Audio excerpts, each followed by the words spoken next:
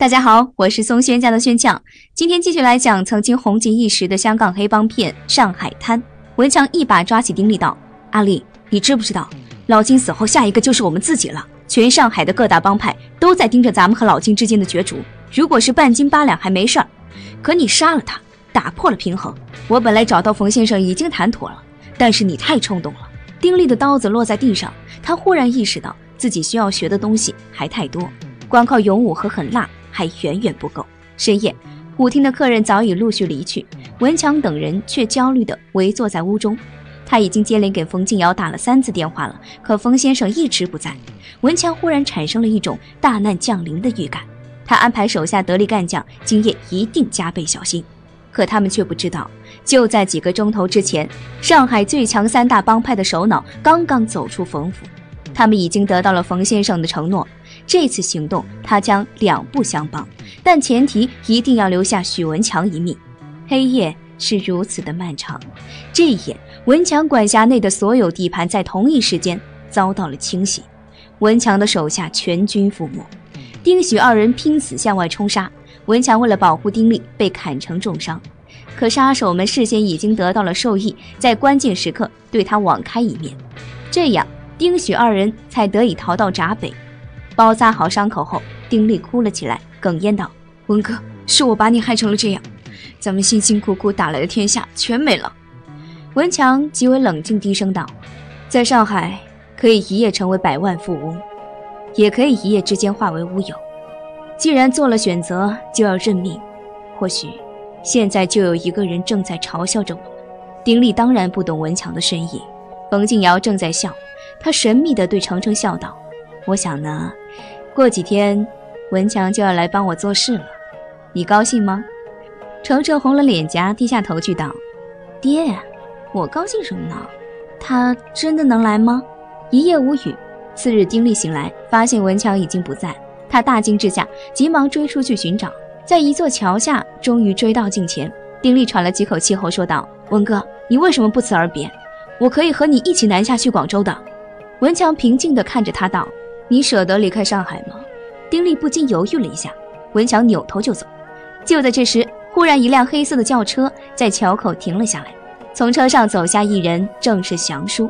他说明来意，丁力大喜，走上前去拉住文强道：“走吧，文哥，冯先生还是记挂着咱们的。”文强却冷冰冰地看着他，头也没回。冷风中似乎传来几个字儿：“阿丽，要去你自己去吧。”丁力忽地喊了一声：“文哥。”我阿丽这一生都欠你的，你教了我这么多，我没法报答你。这一刀就是我阿丽先还你的。鲜血迸尽，阿丽的手臂瞬间红了一片，她用另外一只手捂住了伤口，艰难地向祥叔的汽车走去。突然，文强站住了身子，说道：“等我一下。”丁力回过头来，他看到了文强脸上终于露出了温暖的笑容，寒冬似被融化。这一刻，兄弟二人方才冰释前嫌。在冯静瑶的办公室中，正在开一场重要的会议，而首个议题就是任命许文强为冯氏旗下对外商贸公司的总经理。从此，文强将在冯氏集团这个超级大平台上展露才华。会议开了四个小时，文强清晰地将冯氏产业目前经营状况和将来发展前景在脑中理顺，并随之制定出各种计划和方案。而丁力早已睡熟了。当他醒来时，见屋内只剩下文强一人，这才惊慌起来，道：“文哥，你做总经理了，那我呢？我做什么？”文强一笑，道：“相信冯先生，他会给你合适的事情做的。”果不出文强的意料，没过几天，丁力就接到冯静瑶的通知，让他管理几家大型的夜总会和赌场，并在霞飞路给他预先买了一所房子。丁力大喜过望。他决定要全力以赴帮冯老板卖命，并从中实现自己的人生价值。程程终于有了机会接近心爱的人了。一天，他费尽心思买了一条领带，略有些害羞地敲开了文强的办公室。可当他鼓起勇气问道：“怎么样，喜欢吗？”时，文强却冷冰冰地回道：“不好意思，其实我不喜欢这种颜色。”程程连忙上前准备拿回来，并说道：“那我换一条其他的颜色吧。”文强伸手挡了一下，不曾想两只手却叠到了一起，程程的脸瞬间变得娇艳无比。可那个男人却将手抽了回去，并毫无表情地说道：“多少钱？一百元够不够？”程程的心在迅速的下降，可他依旧柔声道：“不用钱的，是我送给你的。”可文强又说了一句更为惊人的话：“难道你喜好送男人东西吗？”程程皱起了眉头，不再说话，一转身离开了办公室。寄送领带事件过去了十多天后，在一家餐厅。文强和丁力正在等待位置，正巧遇到程程和汪月琪。当程程报上名头后，立刻得到一间包房。四个青年边吃边聊。就在这时，门一开，走进一对卖唱的妇女，二人身着破旧。月琪不禁皱眉，冲服务员说道：“包房这里可以随便让人进来吗？”服务生刚要撵他们出去，文强却摆手道：“不用了，让他们唱一曲吧。”程程看了文强一眼，暗道：“他的心多么善啊！”不论是谁在他身边，都会感受温热。且看他情趣如何，一会儿点什么曲子呢？这时丁力也来了兴致，他边吃边说道：“唱一首《十八摸》吧，会唱吧？”女孩惊慌地摇着头，文强却彬彬有礼地说道：“算了，随便拉一曲吧。”随即他掏出一张钞票递了过去。所有的举动都中程程的心意，他更加喜爱这个男人了，于是伸手阻拦道。再多给他们一些吧，可不知有心还是无意，两只手再次碰到了一处。程程已经羞得不行，一颗心砰砰乱跳，这种感觉才叫恋爱。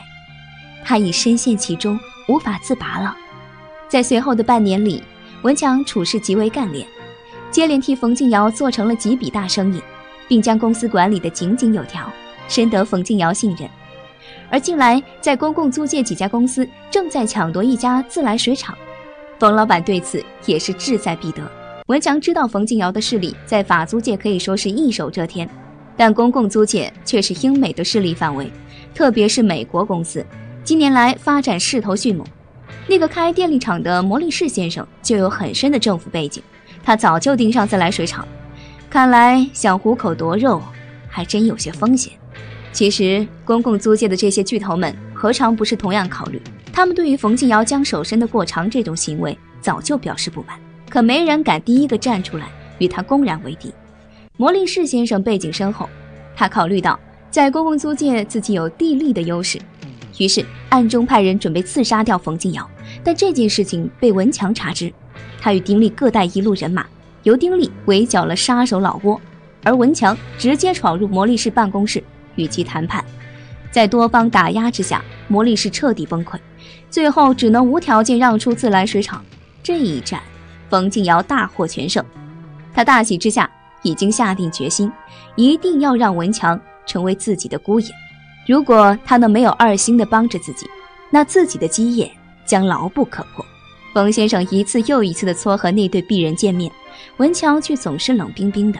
可这时的程程已经身在爱情的漩涡之中，他整个身心全被爱的火焰包围着，每次见到文强都恨不得与他多交流一些。